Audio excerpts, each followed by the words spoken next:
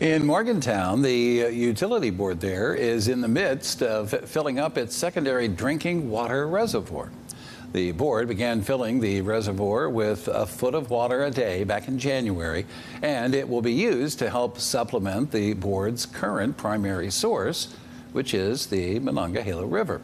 Reservoir currently holds about 100 million gallons of water out of the 370 million gallons that it will be holding once it is completely filled.